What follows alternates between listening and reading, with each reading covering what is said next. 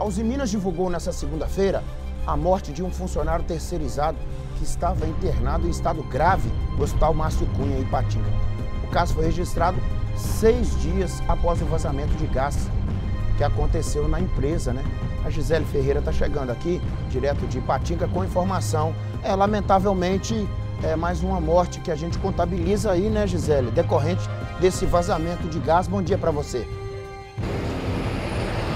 Bom dia para você, Nico. Bom dia para todos que nos assistem. Na verdade, é a única morte, felizmente e infelizmente também, deste caso de vazamento que aconteceu aqui, aqui dentro da Uzi Minas na semana passada. A vítima é o Jonathan Amorim Silva, de 22 anos. A empresa lamentou a morte do funcionário que estava internado em estado grave há seis dias. Ele e outros 14 funcionários da siderúrgica, Nico, que fica aqui em Patinga, né, foram vítimas de um vazamento de gás. O acidente aconteceu na terça-feira passada.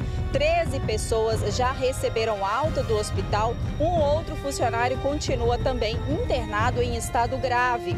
É, e em nota, a Usimina disse lamentar, como eu já disse aqui, né, o ocorrido e que presta toda solidariedade e assistência aos familiares do funcionário. É um laudo sobre as causas do acidente deverá ser emitido nos próximos dias e o Ministério Público também investiga o caso, até mesmo sobre é, para saber quais são ou serão as responsabilidades da empresa sobre este fato ocorrido. Nico, eu volto com você.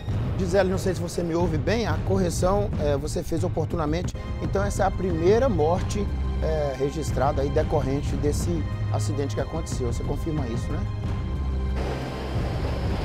É isso mesmo, Nico. No total, foram 15 funcionários que inalaram o gás altamente tóxico e destes 15, infelizmente, teve este óbito. 13 já receberam alta do hospital e um ainda permanece em estado grave na UTI.